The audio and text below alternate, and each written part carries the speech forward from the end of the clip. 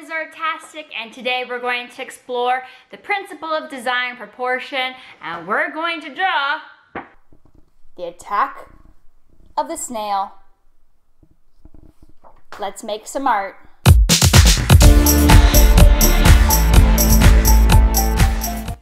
Okay, so we're going to begin by drawing the people in the foreground and anything that we want in the foreground for our attack of the giant snail um, composition. So along the bottom, you can follow along and draw what I'm drawing, or you can make up your own foreground for your crazy landscape that you're about to draw. All right, so here we go. First, I'm going to draw the top of a hat here.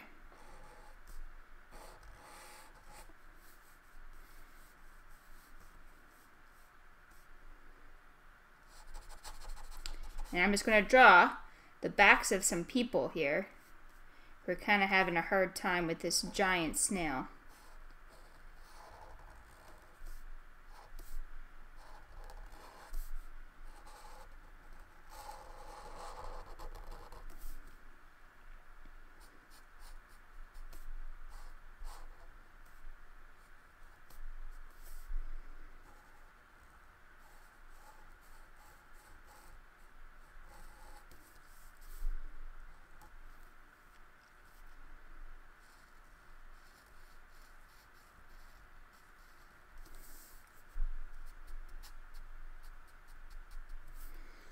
Okay, so we're going to create a whole bunch of people and other things along the bottom.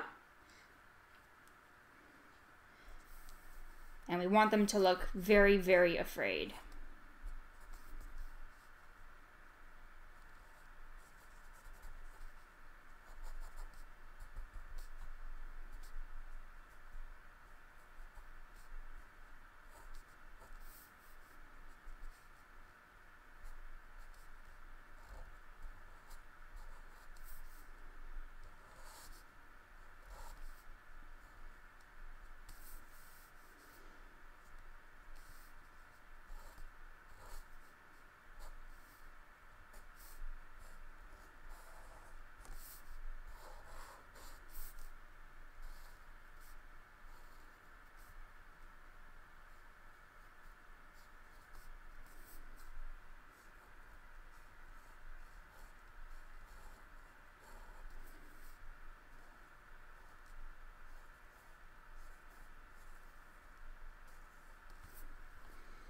Okay, so I got two people down at the bottom here.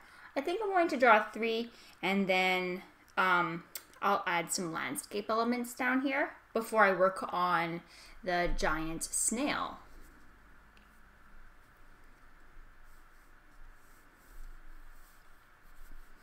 Okay, so maybe I'm going to draw somebody over here who's running away.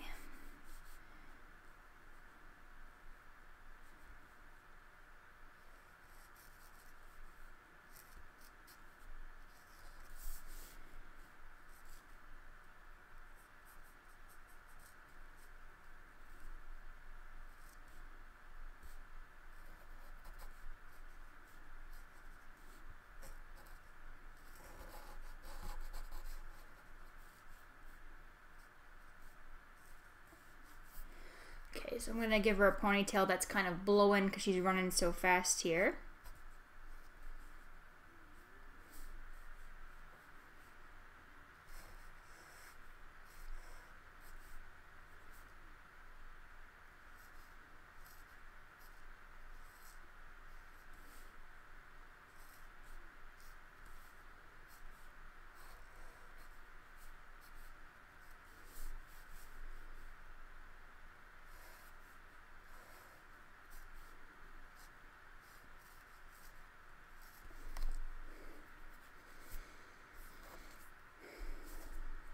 Next I'm going to add just some different landscape pieces. I'm going to add the grass.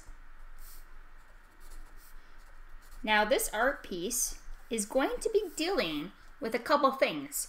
It is focusing on the element of art space in that we are going to be drawing a foreground and a middle ground and a background in our art piece. We're also going to be playing with proportion. Proportion. Proportion. Yep, we're going to talk about proportion. And that is a principle of design. A principle of design that really plays with something called good proportion and bad proportion.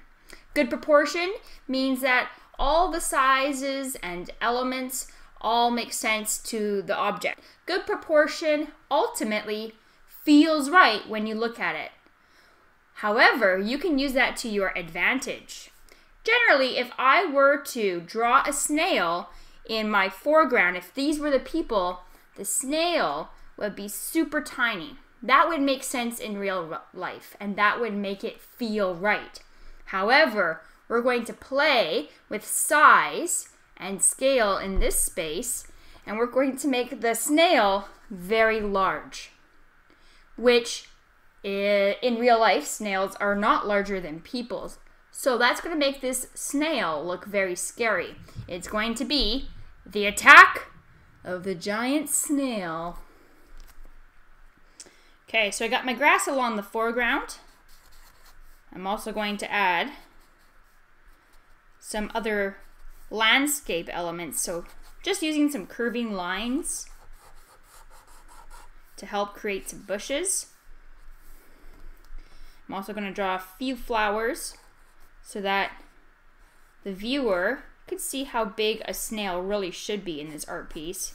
That was my flower, you probably really, in a proper proportion art piece, you wouldn't even see the snail.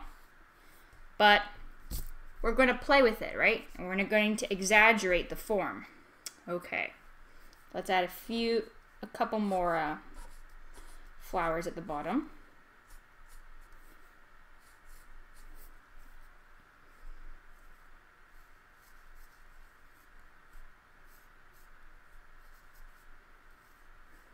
Okay.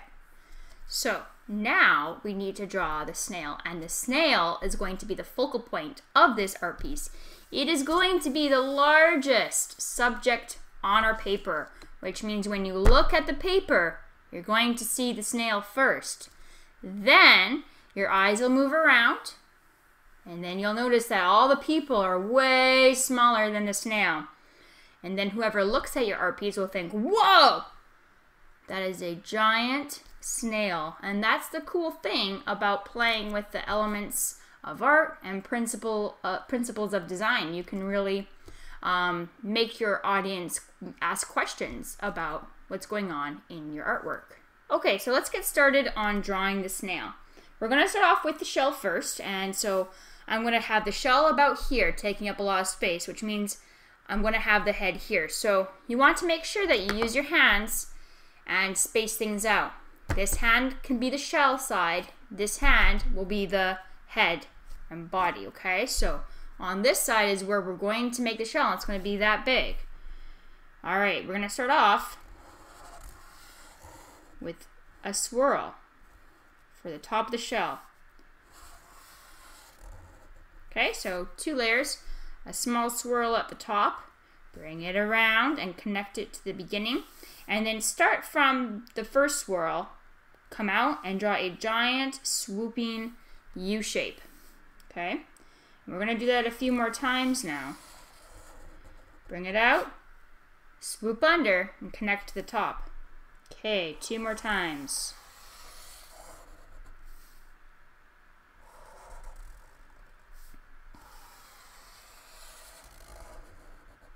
Okay, now that we got the basic shell done, we're going to add some texture lines in there.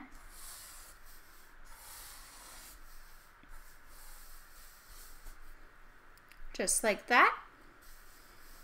You can even add some other elements like circles for some design patterns. Whatever makes you happy. And this detail just add interest to your artwork. Okay, we got a cool shell.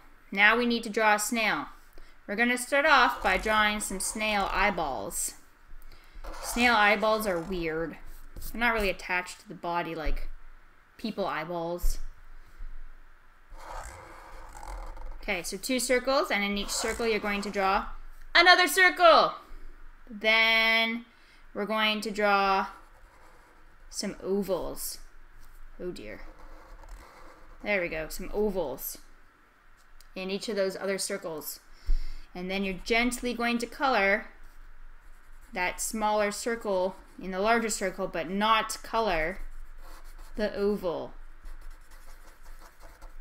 Okay, we got some eyeballs, but this isn't a crazy, weird giant snail, so we need to add kind of these like weeping, drooping eyelids to make it extra nasty. And add a fleshy rim to that.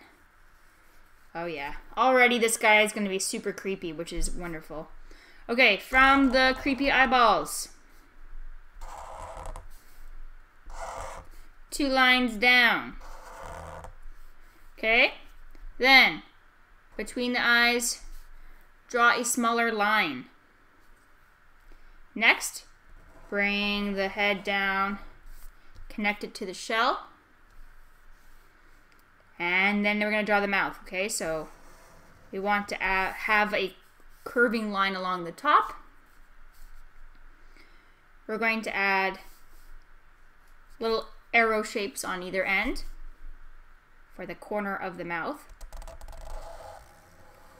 Draw a giant U. Along the bottom, draw zigzag lines for massively sharp teeth and do the same along the top. Cool. Now, in the inside of the mouth, I want you to draw the letter M. And that is going to create a tongue for your giant man-eating snail.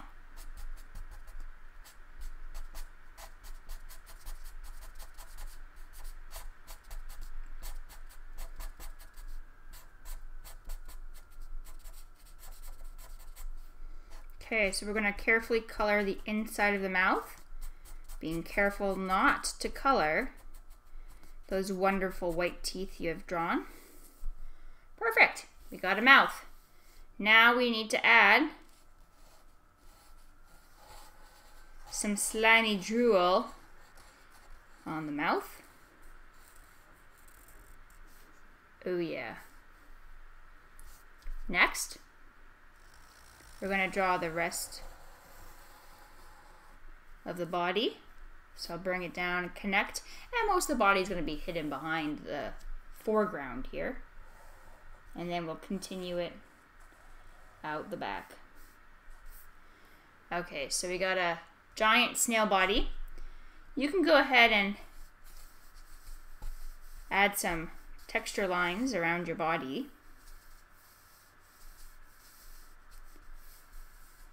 I'm just using a whole bunch of hatching lines or dashed lines, just short, short little segments there. Finally, we're going to draw a background and we're going to draw some trees.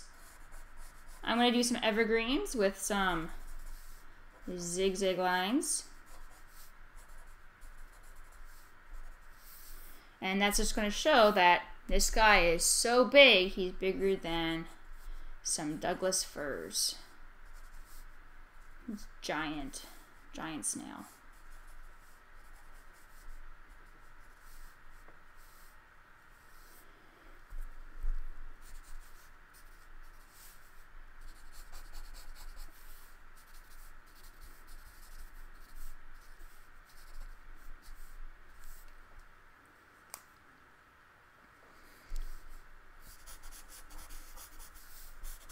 And if you want in the sky, you can just simply add some clouds.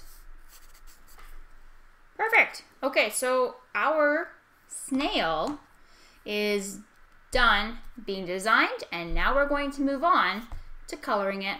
Okay, so we're going to color the snail that focuses on the principle of design proportion. I'm going to color it with felt markers and I'm going to do highlights and lowlights with uh, my black and white pencil crayons, but feel free to use whatever coloring mediums you have available to your at your home, whether it's uh, wax crayons, felt markers, oil pastels. You pick what you have and let's get started. Okay, so we're gonna start on the shell. What color do I want to use? Okay, we're gonna do brown, brown shell, and I'll add some parts that are yellow on top.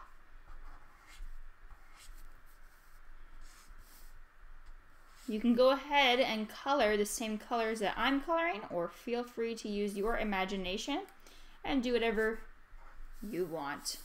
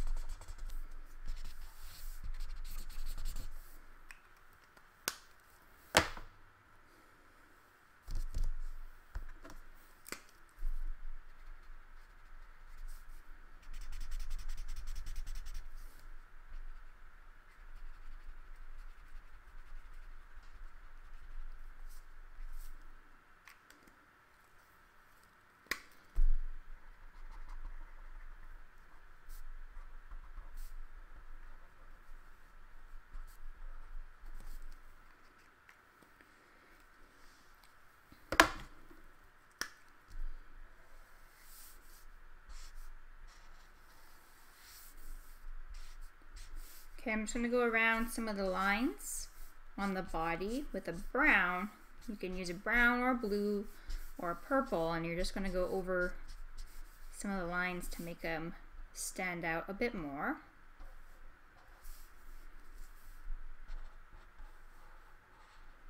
Not all of them, but just some. And this will also create some great texture.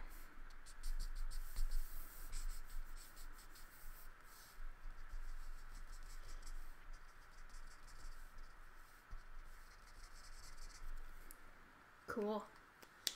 Okay, so let's play with some highlights and lowlights with um, a white and a black pencil crayon. And then I'm going to color the rest of this guy with some wax crayons because I have more uh, wax crayons and colors than I, sorry, I have more colors in wax crayons than I do in uh, felt markers. So let's get started. We're going to start off with the white highlighting first. And we're going to simply color with our white anywhere there should be some highlights. So we're going to do on the gently color in a circle along kind of like the top middle part of all the stripes or swirls of the shell.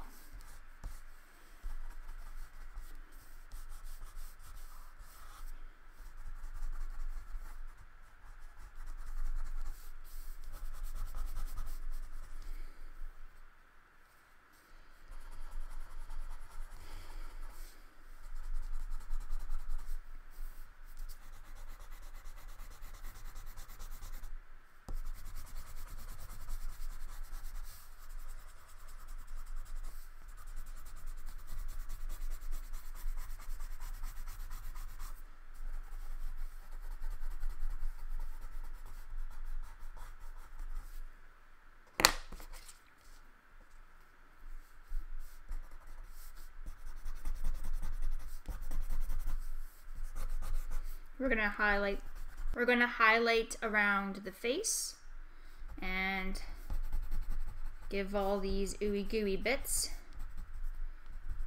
some highlights as well. Can also add highlights on the tongue.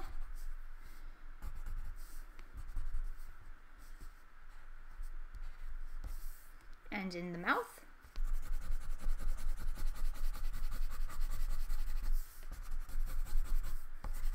And then down the body.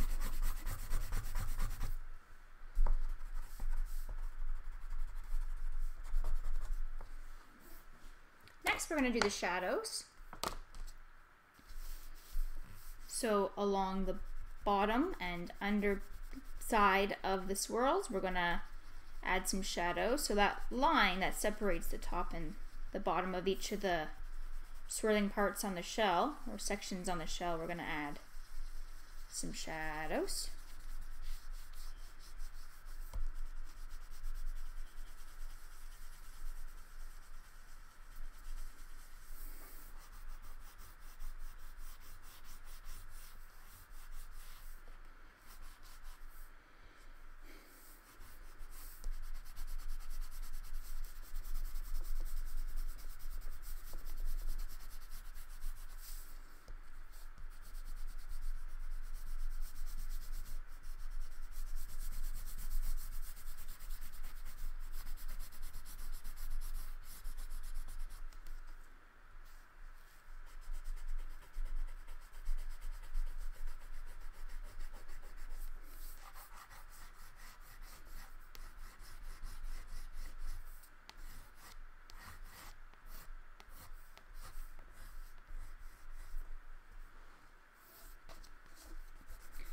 And we'll shade the face as well. So underneath the eyeballs.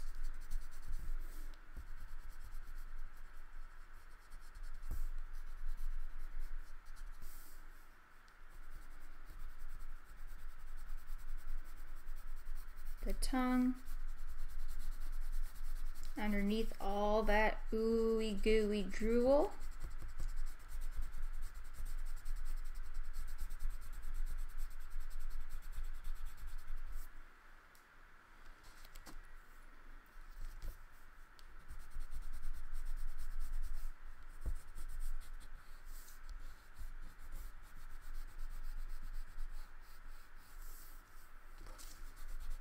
Where the shell connects the body. We want to add a, a nice dark shadow along there because the shadow will be casting a, sorry, the shell will be casting a shadow onto the body.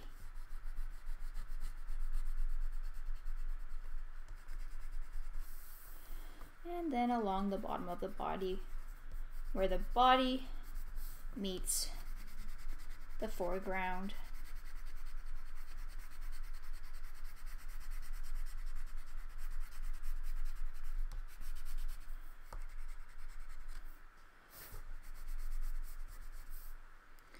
Okay, so our snail is mostly done.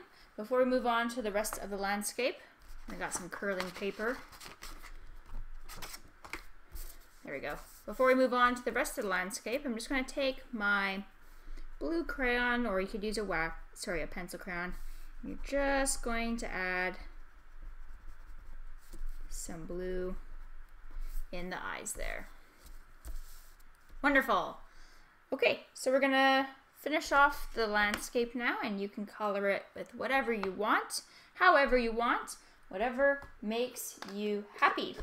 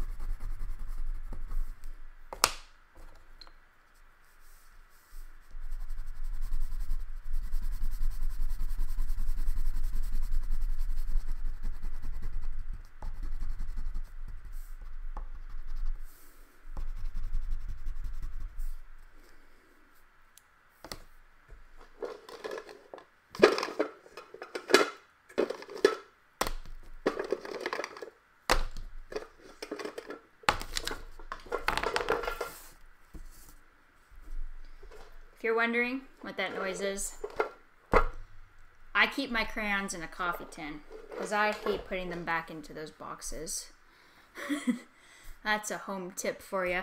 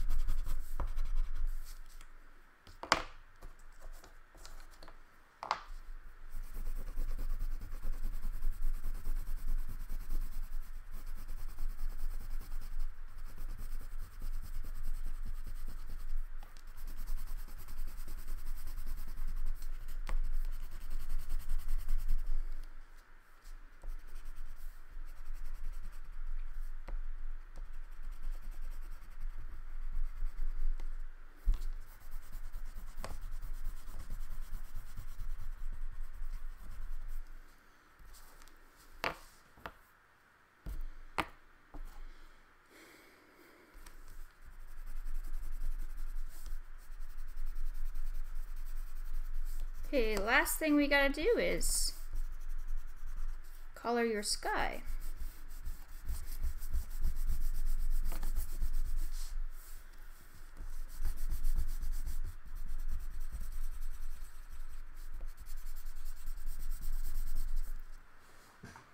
It's already you can see that this illustration is starting to come to life.